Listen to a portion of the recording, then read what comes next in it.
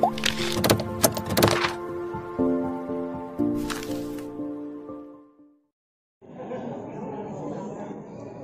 warahmatullahi wabarakatuh. Selamat pagi teman-teman semua. Selamat bertemu lagi dengan Jos Channel di sini. Oke teman-teman, untuk kali ini saya berada di Pasar Hewan Sukorjo, Kabupaten Kendal, Provinsi Jawa Tengah, teman-teman ya. Eh, ini bertepatan dengan hari Selasa. Pon tanggal 12 Mei kalau nggak salah. Tanggal 12 Mei 2020 sorry teman-teman sering lupa. Oke teman-teman di hadapan saya ini ada beberapa ekor. Domba merino ataupun texel punya emas imam yang saat ini beliau baru berangkat pertama kali ya waktu waktu itu kan masih tutup pasarnya dan sekarang sudah buka dua kali ini Pak, untuk pasar Bang Kojo. Oke langsung aja kita tanya-tanya dulu teman-teman ya uh, untuk harga-harganya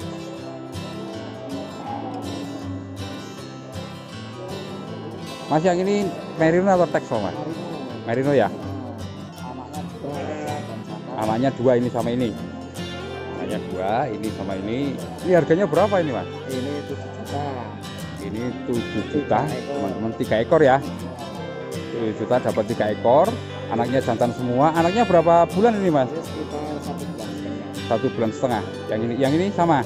Sama. Jadi ini umurnya anaknya satu bulan setengah. Oh, untuk induannya ini mas sudah berapa tahun kira-kira? Mas? Ini udah dua kali beranak. dua kali beranak ini. 7 juta teman-teman ya. Kita lihat dulu. Dapat tiga ekor satu indukan dan dua anakan. Jadi teman ya.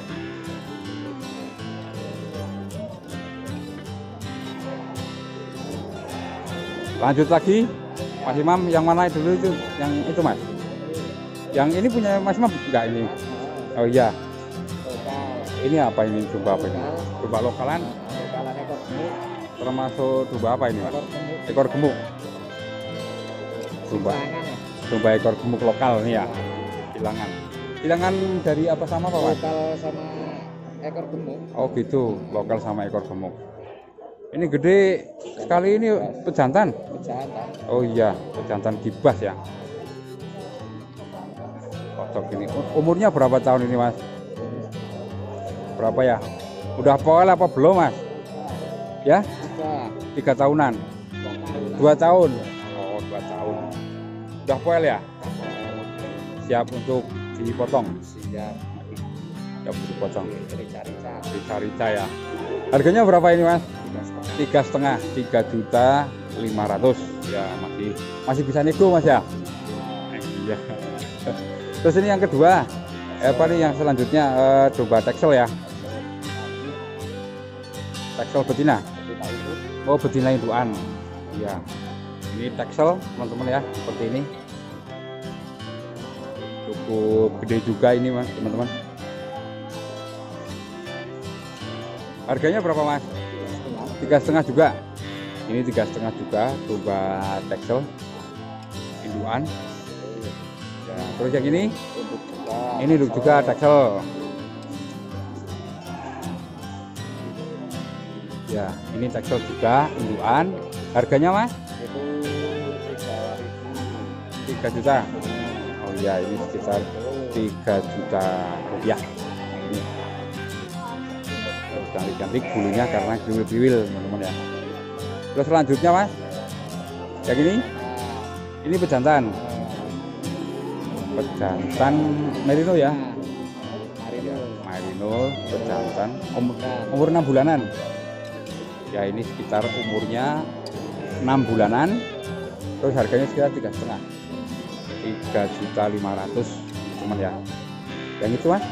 ini betina biasa Marino bulan. Ya. Ini betina. Kecil ini umurnya berapa kira-kira ini? Ini tiga empat bulan. 3 sampai 4 bulan. Oh iya. 3 sampai 4 bulan. Untuk harganya Harganya lima belas. alias satu juta lima ratus iya satu juta lima ratus ini cukup lumayan kira-kira teman ya Ini sama-sama itu kan? Ini betina. Ini betina ya? betina. Yang itu pejantan, Jantan. yang itu jantan, yang ini betina. Tentunya lebih murah dong sama yang ini. Ini lebih kira-kira yang itu tiga setengah, yang ini berapa? ini 25. Ini 25. Kalau untuk betina itu sekitar 25, 2 juta setengah teman-teman ya. Ini. Lanjut lagi mas yang ini. Hmm, Ini sama harganya. Ini duaan ya? Ini jantan. Jantan? Oh nggak kelihatan. Oh jantan ini. Harganya tiga setengah sama. Ini silangan. Dari persilangan antara Texel sama Marino. Jadinya seperti ini. Terus ini domba apa ini namanya mas? Domba silangan. Inilah antara Texel dengan Marino jadinya seperti ini teman-teman ya. Ini pejantan apa betina mas? Ini pejantan semua. Ini tiga setengah alias tiga juta lima ratus. Yang ini 3 juta. Yang ini 3 juta. Oke mas, kemudian satu pertanyaan lagi. Bedanya Texel sama Merino mas? Coba tolong jelasin mas. Untuk dari bentuk muka, telinga, Ya, beda. bentuk muka sama telinga beda. Contoh mas, Ini, ini marino. ini Merino.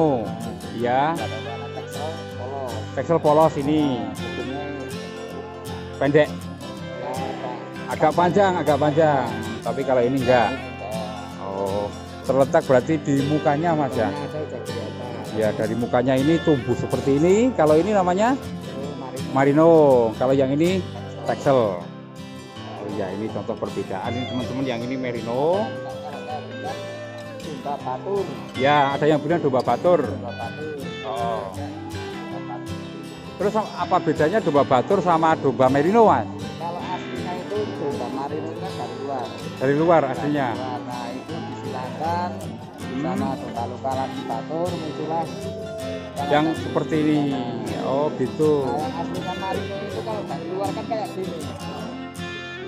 Nah, kayak ini. Hmm. Paling untuk dirinya seperti ini. Oh gitu. Ya seperti ini. ini Ini Marino itu. Nah, kalau dari luarnya itu Hmm. Itu perbedaannya ya. Iya. Itu tadi perbedaannya teman-teman ya antara domba merino sama Texel.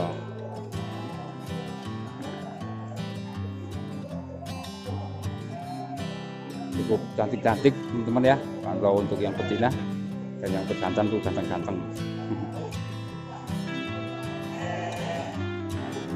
Dikasih makan apa mas di rumah ini dombanya? rumput. Rumput saja? Alami alami, nggak pakai konsentrat ataupun apa gitu nggak pakai. Nggak pakai? Oh, spesial alami ya, alami. Ya alami dari sawah.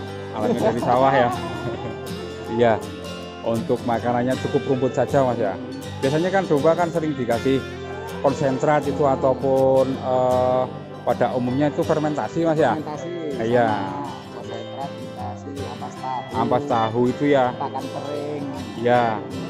Tapi kalau yang ini khusus pakai? Kalau di tempat saya cuma pakai rumput alami. Pakai rumput alami aja. soalnya pakai yang gratisan. Oh iya, banyak rumputnya mas ya. ya Ya karena karena di Wonosobo banyak rumput, jadi gratis kapasitas kan untuk apa peliharanya sedikit Bayarnya dikit ya. tapi tenaganya ada banyak banget Oh iya. Eh, sering kirim ke mana aja ini mas? Barangkali teman-teman ada yang minat gitu. Ya, kita bisa kirim dari Jawa Timur sampai Jawa Barat Jakarta kami siap melayani Oh iya, jauh-jauh mas ya. Alhamdulillah berkat masih Oh iya ya, alhamdulillah. Ini sudah biasa kirim-kirim eh, Mas Imam untuk domba-dombanya.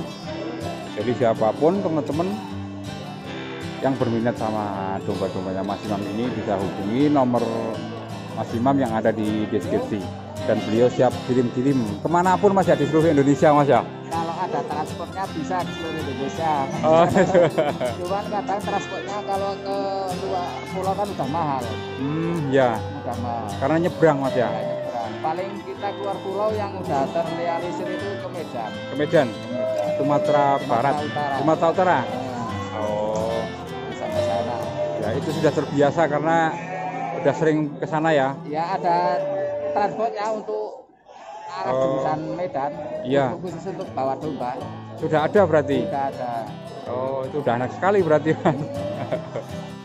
udah khusus ada khusus transport ke sananya berarti. Kalau untuk ke pulau lau- lain masih bingung untuk apa ya channel channel si transport transportnya itu. Oh, gitu. Ada. Iya, iya.